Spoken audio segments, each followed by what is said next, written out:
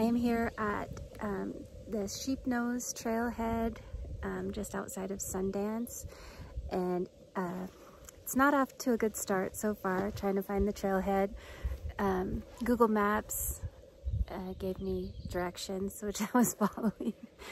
And they tried to send me down a road that was closed that like wasn't actually a road. It was like a four-wheeler trail or something but it had a gate across it so I couldn't go that way um, and at that time there's no cell, so cell phone service so I just kind of continued on down the gravel road and it never rerouted me and so um, thanks to my amazing directional skills I found it here after a while.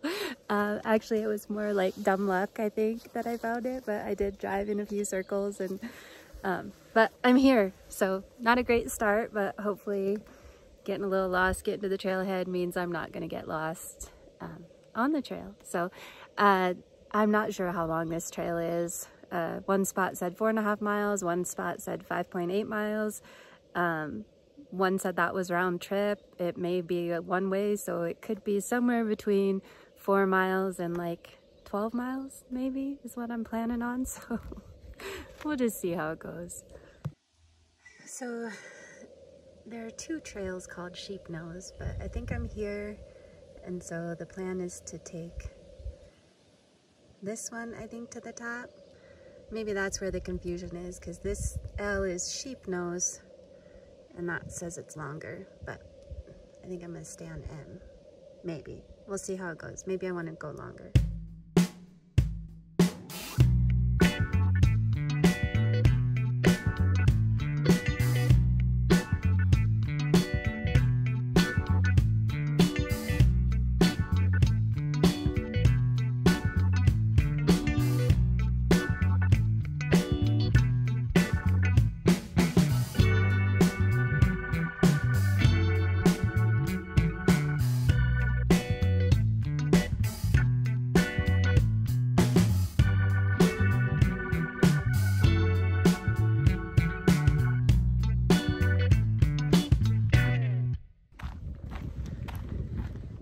So half mile in and so far it's mainly just been like a road, um, which I know it was gonna be a road for a little ways before you get on the trail.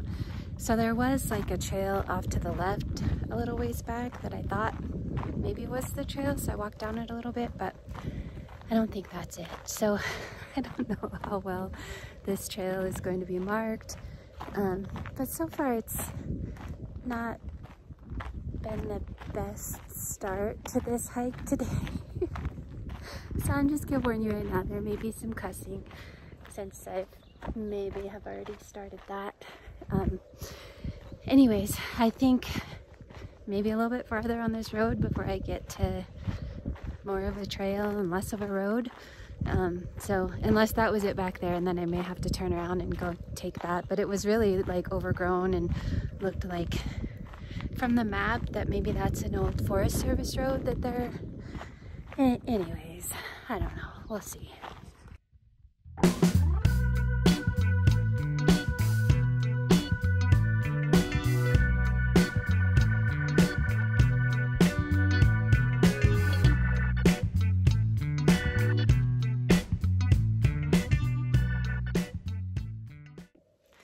Okay, I am just over a mile in right now and you can see that gate behind me and the uh, blue diamond up on the tree.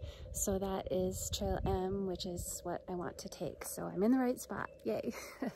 uh, but you could definitely drive all the way up to this gate.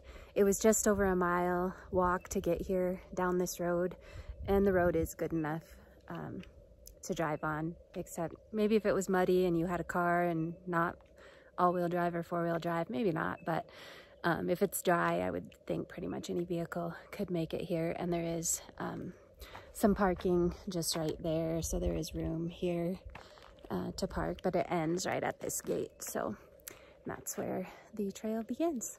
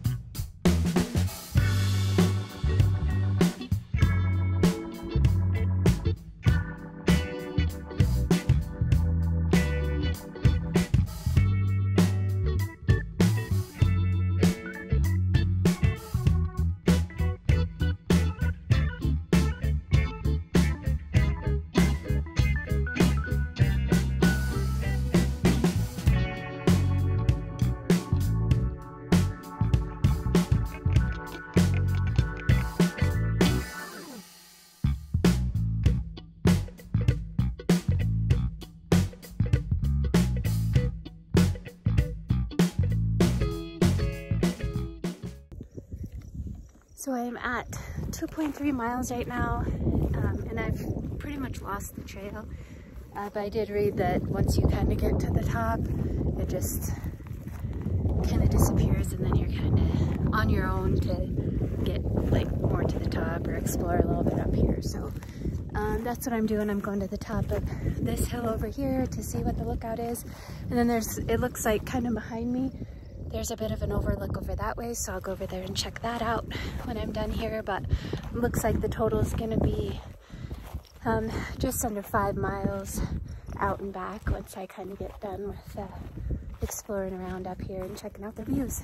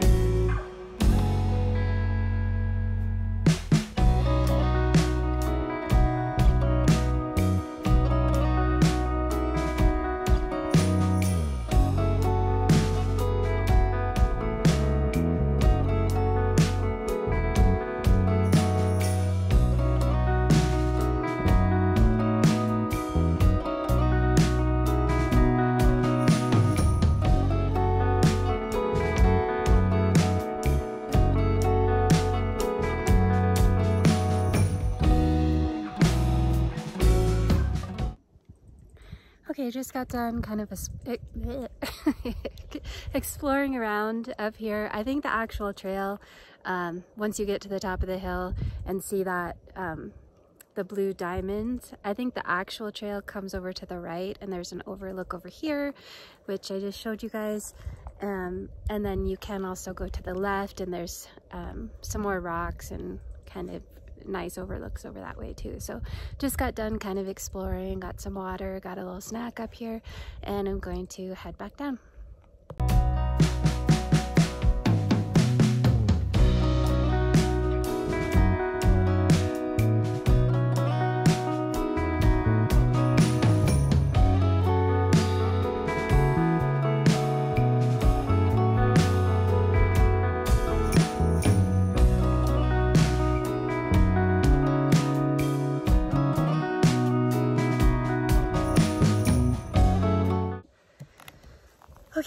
Back at the parking area. So the total was just under five miles out and back, and that's with um, kind of exploring around the top.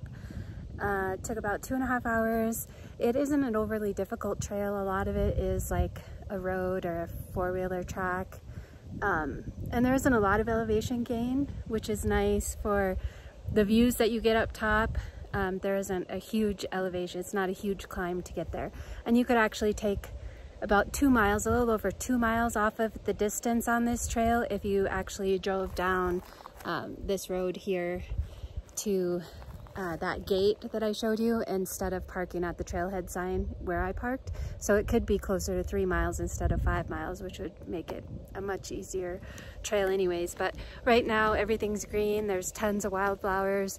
Um, and like I said, nice views at the top. So it's definitely worth the drive to get here